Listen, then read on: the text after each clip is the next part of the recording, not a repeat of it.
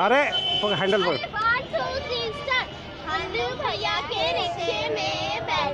कितने पैसे लेगा भाई? कितने पैसे? एक सौ पचास के आगे कितने भी दे दो। एक सौ पचास के आगे बस। इतने में ही। जीवी अपने अपने घर के बंद